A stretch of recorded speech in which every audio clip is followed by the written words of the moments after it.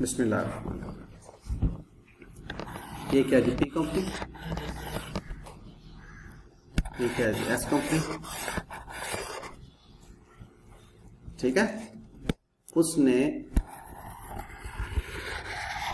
ये सारी P company की बैलेंस शीट दे दी और ये एस कंपनी की बैलेंस शीट दे दी था।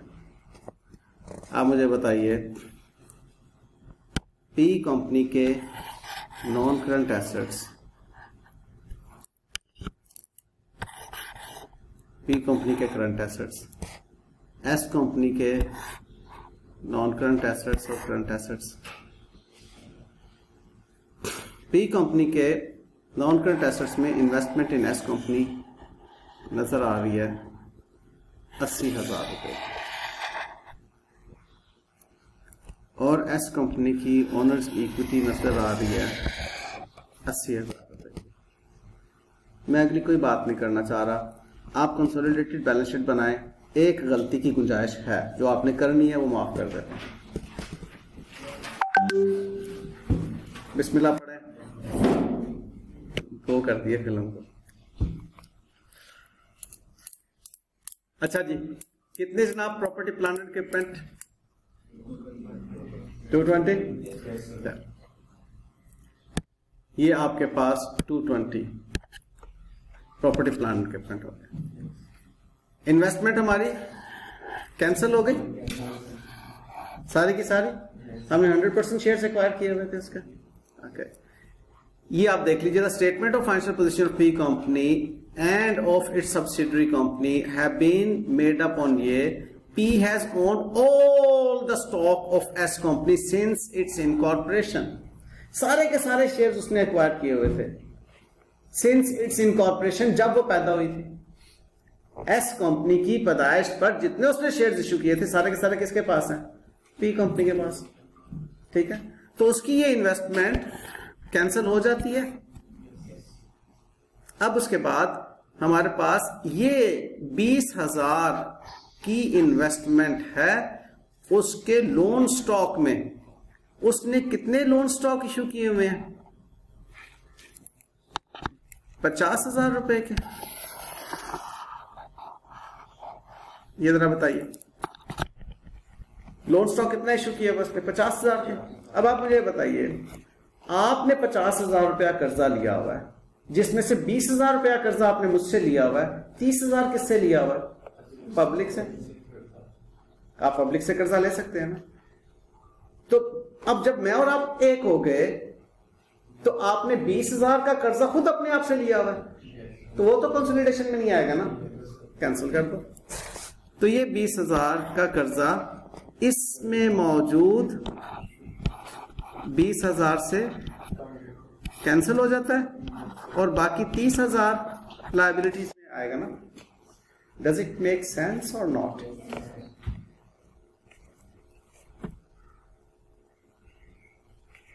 ठीक है?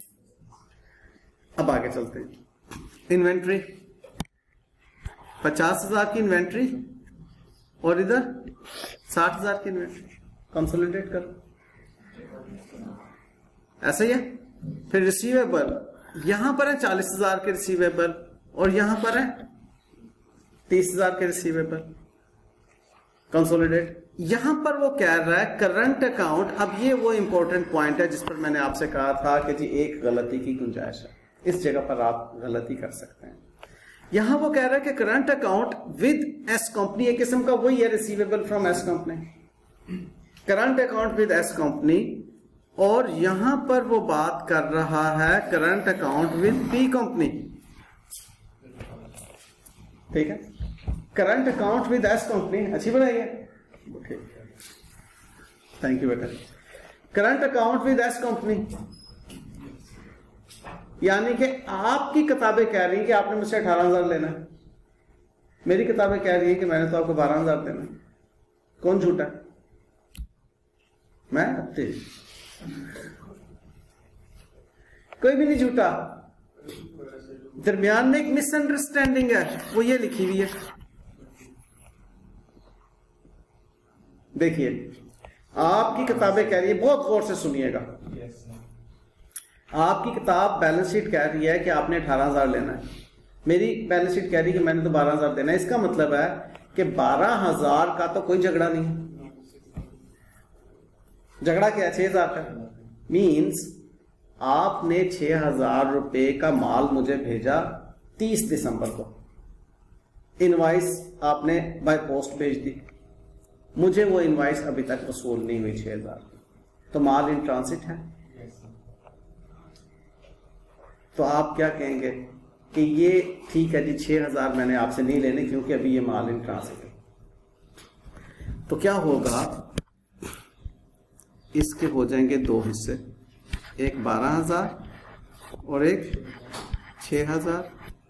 इस बारह हज़ार को आप करेंगे कैंसिल इस बारह हज़ार से और छह हज़ार को कंसोलिडेशन में डाल देंगे गुड्स इन ट्रांसफ़र के नाम से।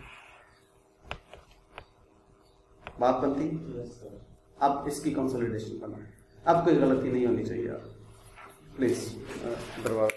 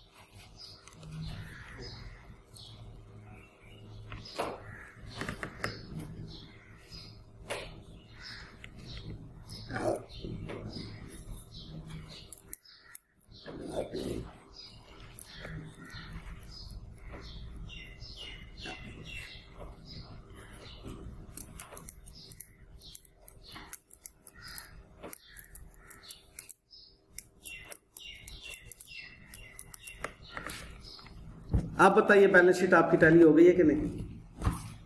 कंसोलिडेटेड बैलेंस शीट क्या सर बाकी दुनिया? परेशान क्यों? कर रहा है? अच्छा जी स्टेप टू स्टेप चलते हैं। हमारी प्रॉपर्टी प्लांट एंड इक्विपमेंट एक बीस और एक लाख। टोटल कितना बनता है? टू ट्वेंटी इन्वेस्टमेंट तो हो गई कैंसिल और जो लोन दिया था वो भी हो गया कैंसिल ये दोनों पी कंपनी में कैंसिल किससे हो रहे हैं? इस 20 और 80 से. उसके बाद पी कंपनी को बेस करके आगे चले इन्वेंट्री 50 की और इधर इन्वेंट्री 60 की. एक दस की होगी रिसीवेबल 40 के और रिसीवेबल 30 के. हो गए 70 के. करंट अकाउंट हमने कैंसिल करके छह हज़ार रुपया लिखा गुड्स इन ट्रांसिट का. कैंसिल होना समझ में आ गया? इसका एसेट उसकी लाइबिलिटी से कैंसिल हो गया। और उसके बाद कैश चार हज़ार और छह हज़ार। दस हज़ार कैश लिखा आपने? लिख दिया बेटे? ओके अब आपकी बैलेंस शीट में एसेट साइड तो होगी कंप्लीट अब आप आगे चलते हैं। एक्विटी में मैंने आपसे कहा कि जो पेरेंट कंपनी का शेयर कैपिटल है वो ही लिखा जाएगा क्योंकि सब्सिडरी कंपनी का शेयर कैपिटल तो कैंसिल हो चुका है। वो तो जिसने दिया था और जिसको दिया था, वो दोनों एक हो गए। जब एक हो गए तो फिर खुद अपने आप को उसने पैसे दिए थे ना। उसके बाद रिटेन अर्निंग टोटल करें 95 फाइव एंड बन रही है ना। जब हम इकट्ठे हो गए तो फिर इकट्ठी रिटेन अर्निंग लिखी जाएगी ना। उसके बाद, अब एस कंपनी के पी कंपनी के पास तो नॉन करंट लाइबिलिटी में है दस परसेंट लोन कितना है जी वो? ये एक पचानवे है या नहीं? ये पचहत्तर है। एक पचानवे ऊपर उसका टोटल है। कितना है? पचहत्तर। और इसका बारह परसेंट लोन ये अलग अलग लाइन आइटम्स होंगी। तीस है बीस तो कैंसिल हो सके ना? तो आप लिखेंगे देखो बेटे, मेरी बात सुने। 12 परसेंट लोन एक अलग अकाउंटिंग हेड है ट्रायल बैलेंस में। 10 परसेंट लोन एक अलग अकाउंटिंग हेड है ट्रायल बैलेंस में। दोनों को इकट्ठे नहीं किया जा सकता। आपके अबू जान के शूज़ का साइज़ है आठ नंबर आपके शूज़ का साइज़ है खैर से दस नंबर जो मैं कहना चाह रहा हूँ समझ आ रही है? दो अलग जूते हैं ना? तो ये दस नंबर और बारह नंबर जो है, ये अलग अलग लोन्स हैं। इसलिए स्टूडेंट यहाँ पर भी कंफ्यूज सर ये क्यों नहीं ऐड हुआ दो अलग लाइन आइटम्स हैं, दो अलग अकाउंटिंग हेड्स हैं। फॉलोड उसके बाद पेबल सैतालीस और पेबल सोलह। ऐड करो, कितना आता है? लाइबिलिटी टैक्सेशन की पंद्रह। और लाइबिलिटी टैक्सेशन की दस, पच्चीस। बताओ बैलेंस शीट टैली होगी कि नहीं हमें दो क्वेश्चन सॉल्व करने के बाद क्या थोड़ा सा कॉन्फिडेंस आया कि कंसोलिडेटेड बैलेंस शीट बनती कैसे? ओके वेल मैं बात को आगे बढ़ाना चाह रहा हूँ। इधर मैंने और कुछ भी नहीं लिखा हुआ। ओके मैं वापस आप लोगों को लेकर आना चाह रहा हूँ। अपने लेक्चर के हम करते क्या है?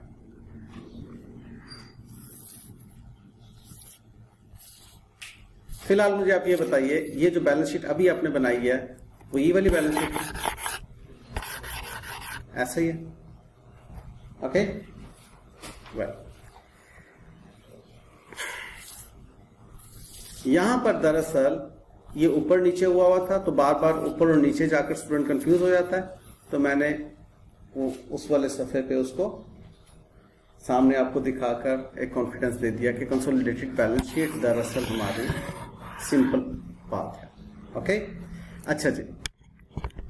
मैं कुछ वर्किंग आपके साथ अब शेयर करने जा रहा हूँ। तवज्जो में रहिएगा। बड़ी लॉजिकल है। ये कुछ एहतियातें हैं जो अब कल से हमने क्वेश्चन जो सॉल्व करने हैं, उसमें हमने देख लिए अभी जो मैंने काम आज करवाया, क्या कहा? कि कुछ आइटम्स को एलिमिनेट करना होता है जब हम पेरेंट और सब्सिडरी कंपनी को इकट्ठा कर रहे होते हैं। एक बात याद रखिए। वो बात ये है कि P plus S equals to group होता है। हम ग्रुप फाइनेंशियल स्टेटमेंट्स बना रहे हैं।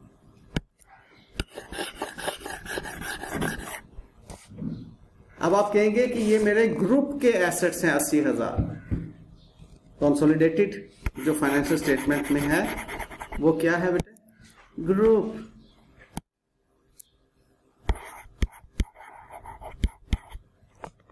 तो ग्रुप रिटेन अर्निंग कितनी है आपके? पैंतीस हज़ार ना? Group property plant and equipment कितना है? जो मैं कहना चाह रहा हूँ समझ में आ रही है बात? ओके ओके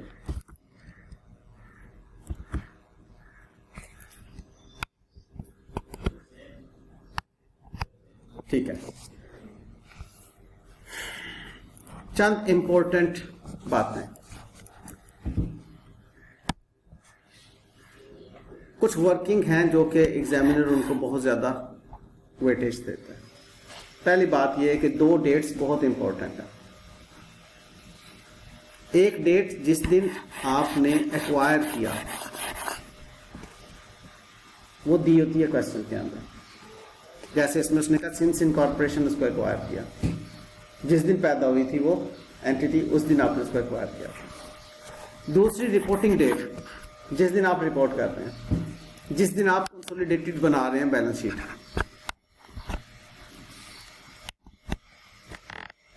आगे बढ़ो। ये मुश्किल बात तो नहीं की मैंने। डेट्स आइडेंटिफाई करनी है आपने क्वेश्चन के अंदर। जैसे मैं आप लोगों को रिपोर्टिंग डेट हमेशा कहता हूँ, बहुत इंपॉर्टेंट है। एक्रूवल्स पढ़ाया, उसमें रिपोर्टिंग डेट पे मैंने कहा कि बहुत इंपॉर्टेंट है। डेप्रिसिएशन रिपोर्टिंग डेट बहुत इधर भी रिपोर्टिंग डेट बहुत इंपॉर्टेंट है, जिस दिन आप रिपोर्ट कर रहे हैं। तो इधर दूसरी इंपॉर्टेंट डेट एक्विजिशन डेट आती है। ए डी आर डी आपने लिख लेने दूसरा ग्रुप स्ट्रक्चर अभी मैंने आपसे कहा greater than 50 percent lesser than 50 percent इन दोनों को इकट्ठा करेंगे तो 100 परसेंट हो जाएगा। अब इस क्वेश्चन में ग्रुप स्ट्रक्चर क्या है? उसको मैं सी परसेंटेज कहता हूँ या सी आई परसेंटेज आप कह लें। Controlling interest C I means तो दूसरा क्या होगा? नॉन कंट्रोलिंग इंटरेस्ट ठीक है बेटे?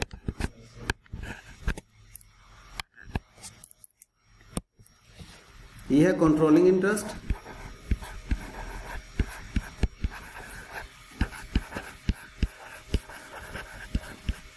और ये है नॉन कंट्रोलिंग इंटरेस्ट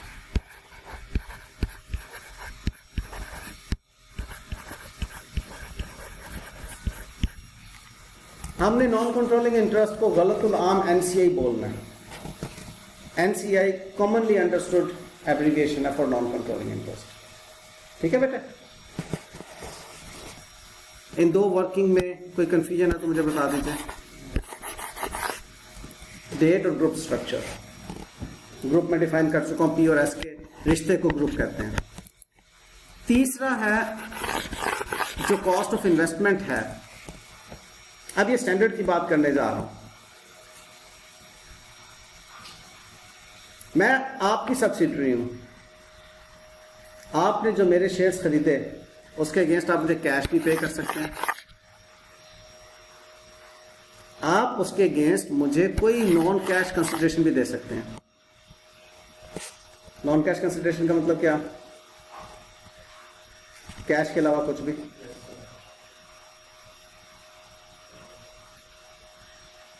आपने अपनी गाड़ी मुझे दे दी। मुझसे शेयर्स लिए, गाड़ी दे दी। नॉन कैश है? मैं भी आपके जेनों को भड़ा करूँगा अगले दो मिनट के अंदर अंदर। आपने इन्वेस्टमेंट की मेरे शेयर्स में कैश दिया अकाउंटिंग एंट्री पास करो। Investment in Miyan Farhan company debit और आपने इन्वेस्टमेंट की मेरी कंपनी में और आपने मुझे गाड़ी दी। Investment in Miyan Farhan company debit और कार आपका जो फिक्स्ड एसेट था, वो डिस्पोजल अकाउंट क्रेडिट जैसे कार डिस्पोजल अकाउंट बनता है, उसी तरह से है ना। आपने इन्वेस्टमेंट की और मुझे लैंड आपकी जो बैलेंस शीट में थी, वो मुझे दे दी। तो क्या होगा? Investment in Miyan Farhan and company debit and land credit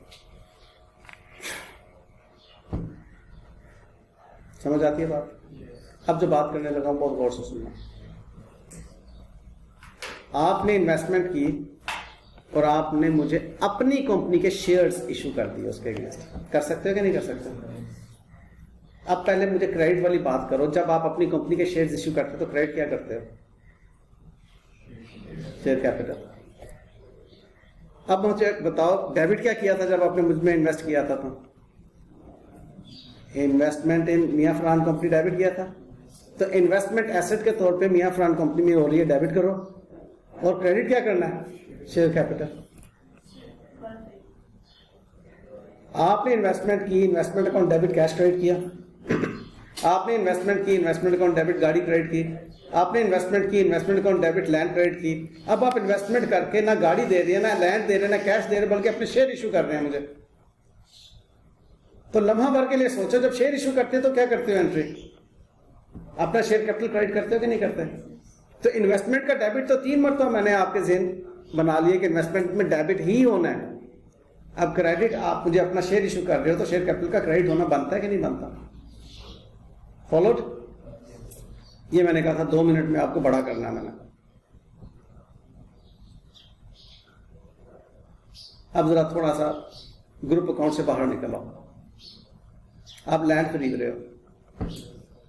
cash देके लैंड डेबिट कैश क्रेडिट करोगे? आप लैंड खरीद रहे हो, उसके बदले में आप शेयर इशू कर रहे हो। तो land debit share capital credit करोगे कि नहीं करोगे? बनती है बात? अकाउंटिंग डेबिट क्रेडिट से बाहर नहीं है। कितना भी कॉम्प्लेक्स क्यों ना हो जाए सिचुएशन आज आके वही डेबिट क्रेडिट के असूल वही है। कि जो इंक्रीज है एसेट में डेबिट होना है एसेट डिक्रीज है तो क्रेडिट होना है. इक्विटी लाइबिलिटी इंक्रीज है तो क्रेडिट होनी है डिक्रीज है तो डेबिट होनी है. अब जब आप लैंड खरीद रहे हो शेयर इशू करके तो इक्विटी इंक्रीज हो रही है कि नहीं हो रही है आपकी? उसके अगेंस्ट मिल क्या रहा है? कैश नहीं. लैंड यस अगर कैश मिलता तो क्या एंट्री करते? Cash debit share capital credit तो अगर कैश की बजाय लैंड मिली है तो land debit share capital credit करोगे ना? फॉलोड अब अगर आपने मुझ इन्वेस्ट किया है तो भाई इन्वेस्टमेंट एसेट के तौर पे डेबिट होनी थी ना। आपने मुझे कैश देने की वजह अपने शेयर मुझे इश्यू कर दिए। कर सकते हो कि नहीं? तो जब अपने शेयर इश्यू किया तो आपका अपना शेयर कैपिटल क्रेडिट होना चाहिए कि नहीं होना चाहिए? समझ में आती है बात? इस बात को लिखो अपनी ज़ुबान के अंदर, मैं दो तीन मिनट दे रहा हूँ।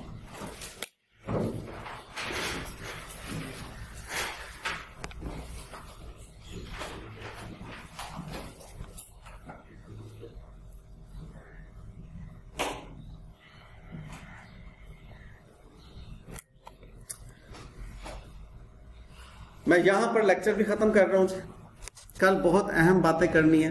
मैं आपको ये लेक्चर भेज दूँगा कंप्लीट कल जो हमने बातें करनी है गुडविल कैसे कैलकुलेट करने हैं, वो बातें करनी है। नॉन कंट्रोलिंग इंटरेस्ट कैसे कैलकुलेट करना वो बात करनी है। ग्रुप रिटेन रनिंग कैसे कैलकुलेट करनी है, ये बात करनी है। तीन बातें हैं हमारे कल के लेक्चर में।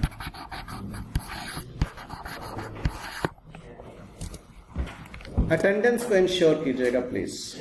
Okay? Thank you. Allah